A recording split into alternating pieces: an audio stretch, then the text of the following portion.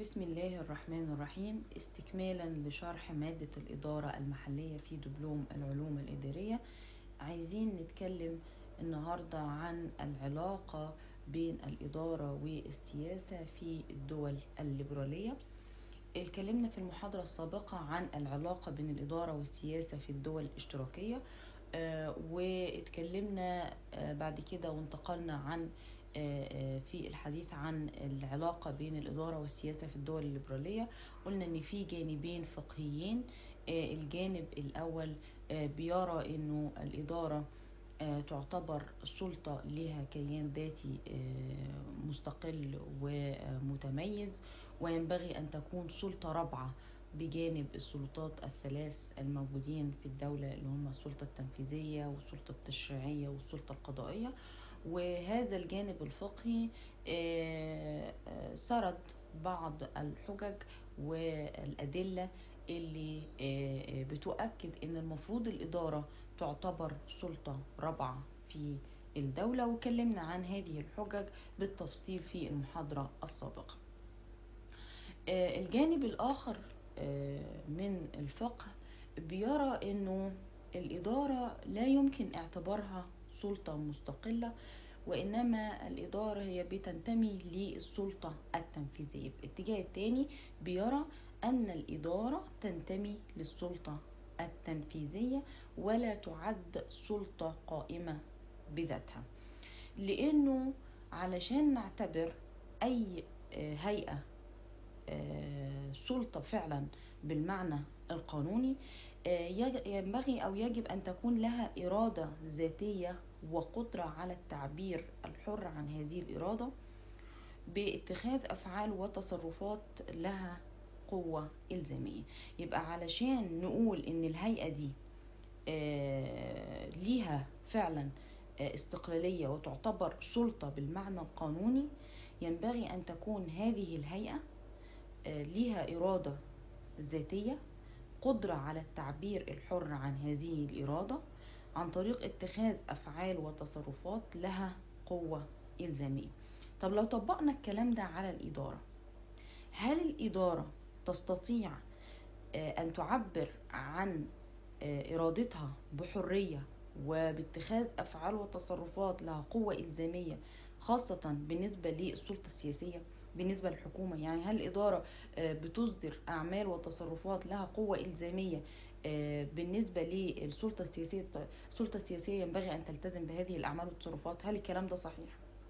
هنجد أن الإدارة لا تستطيع مهما على مكانها وقدرها في المجتمع إنها تفرض على هذه السلطة إرادتها الذاتية الإدارة بتكتفي فقط بمجرد تقديم أو عرض اختيارات عديدة وحلول ممكنة وبعدين تيجي السلطة السياسية بما لها من إرادة ذاتية. السلطة السياسية هي اللي ليها إرادة ذاتية وبما تباشره من اختصاصات دستورية حسم الأمر والاختيار من بين هذه الحلول. وده طبعا بيتفق مع حقيقة تحملها قانونا المسؤولية الدستورية عن القرارات أو التصرفات اللي بتتخذها.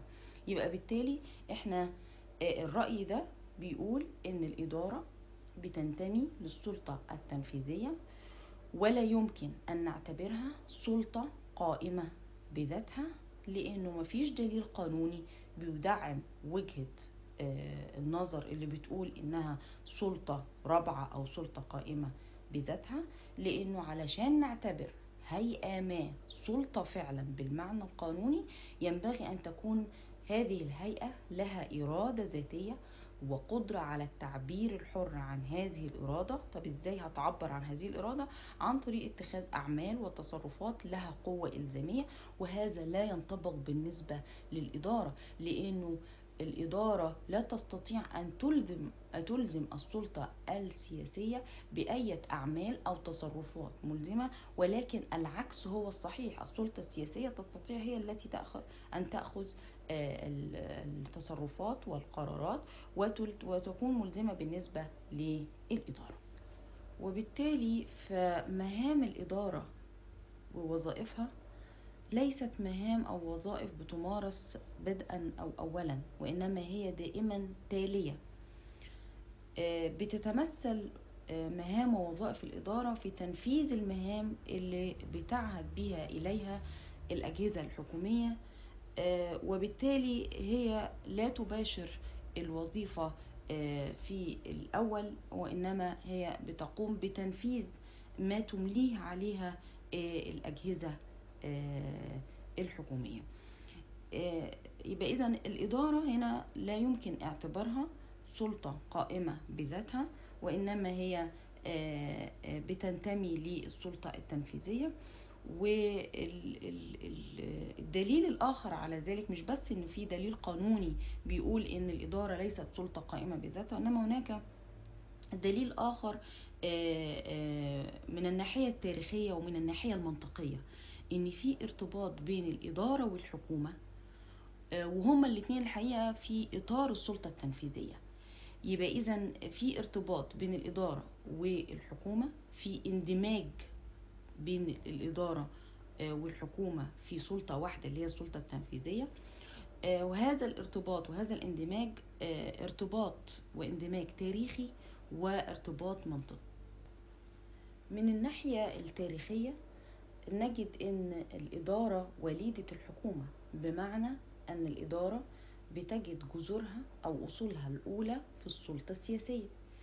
آه، السلطة دي اللي هي السلطة السياسية كانت أسبق في الظهور من الإدارة على أساس أن المجتمعات في بداية نشأتها آه، بتكون في حاجة لأن تحكم قبل أن تدار. يبقى السلطة السياسية هي كانت أسبق في الظهور من الإدارة. ونتيجة ظهور هذه السلطة السياسية ظهرت الإدارة. آه، السلطة السياسية حينما نشأت في البداية مع نشأة المجتمعات لأنها بتحتاج لأن تحكم قبل أن تدار آه، نتيجة لاتساع صور النشاط الحكومي وازدياد تدخل الدولة في مختلف المجالات الاقتصادية والاجتماعية لم يعد دور الحكومة أو السلطة السياسية قاصرا كما كان في البداية على حفظ النظام والأمن وتحقيق العدالة عن طريق إصدار الأوامر والنواهي للأفراد لكن أصبح واجب عليها ممارسة أنواع أخرى من النشاط لم تكن معروفة لها آه، قبل ذلك. وبالتالي لمؤمن طبعا ومسايرة آه، مثل هذا التطور آه، أصبح ظهور الإدارة أداة هامة جدا وعامل مهم جدا عامل مساعد ومعاون على ممارسة هذه الوظائف بالنسبة للسلطة السياسية. وبالتالي آه، نتيجة تطور النشاط الحكومي واتساع صور النشاط الحكومي وازدياد تدخل الدولة أصبح للإدارة دور آه، آه، معاون ودور مساعد للسلطة السياسية. يبقى إذا الإدارة هي وليدة الحكومة إيه اللي نشأ الأول السلطة السياسية. وبعدين نتيجة وجود هذه السلطة في موقف إن هي عايزة آه، تقوم بدور وتتدخل في أكثر من مجال وزيادة واتساع صور النشاط الحكومي وازدياد تدخل الدولة في مختلف المجالات أصبح هنا للإدارة ضرورة إنها توجد بجانب السلطة السياسية علشان تؤدي هذا الدور وتكون كعامل أو كأداة هامة تساعد وتعاون هذه السلطة على ممارسة الوظائف والاحتياجات الجديدة في المجتمع. وبالتالي من الناحية التاريخية أهو في ارتباط أهو بين الإدارة وبين الحكومة. من الناحية التاريخية الإدارة وليدة الحكومة. يبقى إذا في ارتباط ما ينفعش إن إحنا نغفل عنه أو إن إحنا ما نذكرهوش. ده من الناحية التاريخية. آه الارتباط بين الإدارة والحكومة أيضا ارتباط منطقي مش بس من الناحية التاريخية ولكنه ارتباط منطقي. ما ينفعش إن إحنا نفصل الإدارة عن الحكومة ونقول كمان إن الإدارة دي سلطة مستقلة أو قائمة بذاتها. إنما هناك ارتباط منطقي بين الإدارة والحكومة لأن هما الاثنين بيشكلوا ظاهرتين غير متعارضتين أو بمعنى ادق أدق ظاهرتين متداخلتين. بيكمل كل منهما الأخرى. آه، علشان نوضح الكلام ده نقدر نقول إن الحكومة آه، بيقتصر عملها على التخطيط ووضع القواعد والمبادئ العامة. دون أن يصل آه، بها الأمر إلى حد التنفيذ الفعلي. يعني الحكومة بتضع الخطط بتضع القواعد والمبادئ العامة لكن آه، آه، لا تقوم هي بذاتها للتنفيذ الفعلي لهذه الخطط وهذه القواعد وهذه المبادئ. آه، لأنها بتكون معتمدة آه، من الناحية الواقعية على الإدارة. باعتبارها أسلوبا للحكم بيهدف إلى تنفيذ السياسة العامة للدولة وتحقيق مبادئها. فمثلا لو شفنا مثلا آه، في جمع الضرائب آه، وزير المالية هو اللي بيتولى جمع الضرائب لا طبعا. وزير المالية هو اللي بيضع القواعد والمبادئ والخطة في آه، فيما يتعلق بجمع الضرائب لكن وزير المالية ليس هو الشخص المعني بجمع الضرائب. وبالتالي هنا الحكومة بتضع خطط بتضع قواعد ومبادئ لكن الإدارة هي التي تتولى جمع الضرائب. ونفس القصة وزير التعمير هل هو اللي بيقوم بإنشاء السدود وتمهيد الطرق؟ وبالتالي هنا طبعا الكلام ده مش صحيح. يبقى الحكومة إذا بدون إدارة تكون معدومة عملا عن كل أداة للتنفيذ. يبقى إذا هنا الحكومة والإدارة في بينهم آه، ارتباط منطقي مش بس ارتباط تاريخي ولكن أيضا ارتباط آه، منطقي. والحكومة آه، لا تستطيع أن تقوم بتنفيذ الخطط والقواعد والمبادئ التي تضعها بذاتها وإنما بتستعين بالإدارة. وفي نفس الوقت الإدارة مش بس وسيلة لأداء الخدمات وتنفيذ الخطط والبرامج الحكومية ولكن نقدر نقول إن الإدارة بأدائها لهذه الخدمات وتنفيذها ولتلك الخطط والبرامج آه، مش بس آه، بتساعد في إشباع احتياجات المواطنين لا كمان بتؤكد وبتعمل تأكيد مهم جدا على حاجة مهمة جدا وهي سيادة الدولة. آه، عندما تقوم الإدارة بإشباع احتياجات المواطنين وتنفيذ الخطط والبرامج بتعمل على تأكيد سيادة الدولة لأنها بتحقق نوع من الرضاء الشعبي للسلطة السياسية. وبالتالي الإدارة وإن كانت قد اشتقت تاريخيا من الحكومة فإنها تعتبر في ذاتها آه، أداة أساسية وضرورية الحكومة مش بس بتنفذ البرامج مش بس بتنفذ الخطط ولكن بتؤكد سيادة الدولة عن طريق إشباع احتياجات المواطنين وبالتالي بيحدث نوع من الرضاء الشعبي للسلطة السياسية. إذا بعد الانتهاء من عرض الرأي القائل بأنه الإدارة بتنتمي للسلطة التنفيذية وحجج هذا الرأي سواء من الناحية القانونية أو من الناحية التاريخية أو من الناحية المنطقية. نستطيع أن إحنا نقول دلوقتي أن الإدارة لا تعتبر سلطة متميزة لها كيان ذاتي مستقل وإنما هي آه، بتنتمي للسلطة التنفيذية. وبالتالي السلطة التنفيذية هنا بتقوم بوظيفتين وظيفة حكومية ووظيفة إدارية أو وظيفة سياسية ووظيفة أخرى إدارية. آه، وده الرأي الراجح إنه ما ينفعش نعتبر الإدارة سلطة قائمة بذاتها وتعتبر سلطة رابعة بجانب سلطات الدولة الثلاث وإنما هي تنتمي إلى السلطة التنفيذية. هو السؤال بتاعنا دلوقتي آه، حينما آه، تباشر السلطة التنفيذية الوظيفتين الوظيفة الحكومية والوظيفة الإدارية متى تعتبر الوظيفة حكومية ومتى تعتبر الوظيفة الإدارية؟ أو إيه هي المعايير آه، التي تميز بين الوظيفة الإدارية والوظيفة السياسية؟ الحقيقة عندنا معيار آه، شكلي وعندنا معيار آه، موضوعي وعايزين نتكلم عن هذه المعايير في التمييز بين الوظيفة الإدارية والوظيفة السياسية. الحقيقة المعايير دي مشكلتها في حاجة.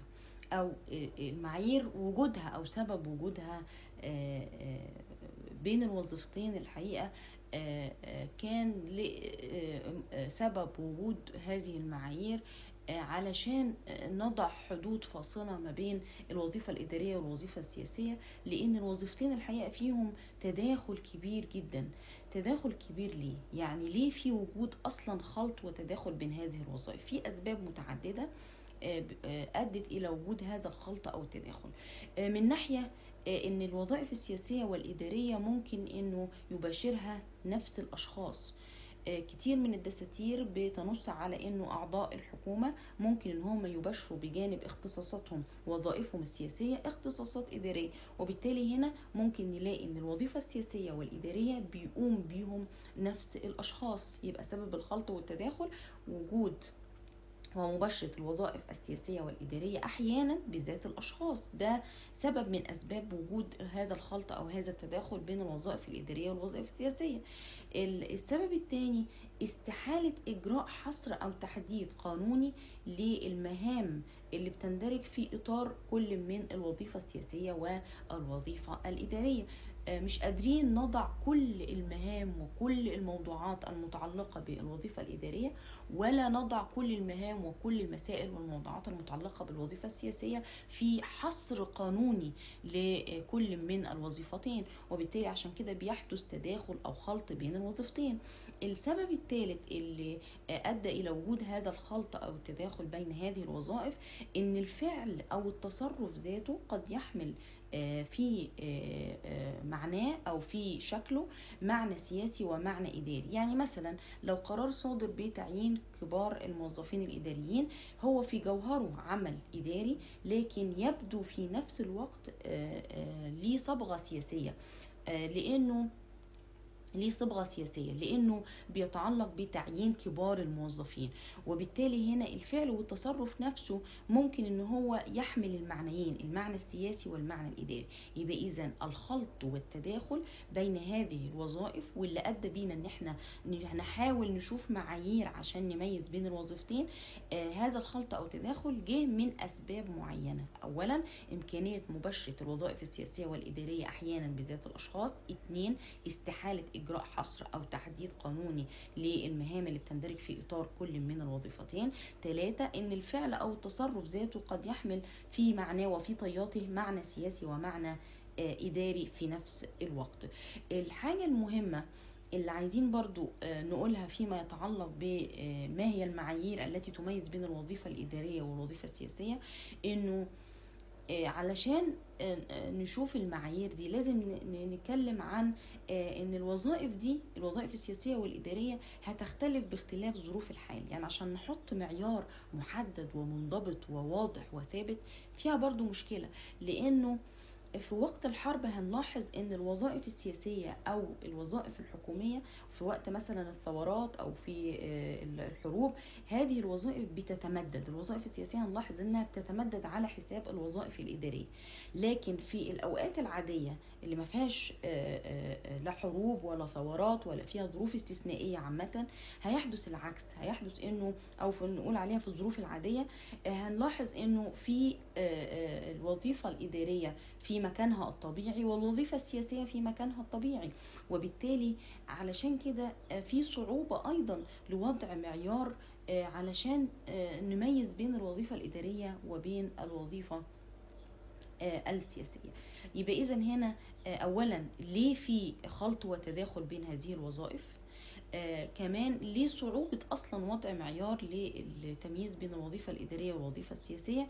لأنه التمييز أو التفريق بين هذين النوعين من الوظائف بيخضع لظروف الحال في زمن الحروب والثورات عن الظروف العادية وبالتالي وضع معيار آه، ثابت ومحدد وفاصل بين الاثنين برضو ده شيء صعب جدا لأنه آه، لوضع هذا المعيار لازم يكون كل شيء غير متغير. لكن لما نلاقي إنه في وقت الحرب ال- ال- الوظيفة السياسية بتتمدد وبتتسع على حساب الوظيفة الإدارية وفي الظروف العادية الوضع ما بيكونش بهذه الصورة فاصلا وضع معيار للتمييز بين الوظيفتين آه، هيكون فيها آه، آه، صعوبة كبيرة ورغم هذه الصعوبة حاول الكثير من الفقهاء آه، إن هم آه، يضعوا معيار للتمييز بين الوظيفتين وانحصرت هذه المعايير في معيارين. المعيار الأول هو معيار شكلي والمعيار الثاني هو معيار موضوعي.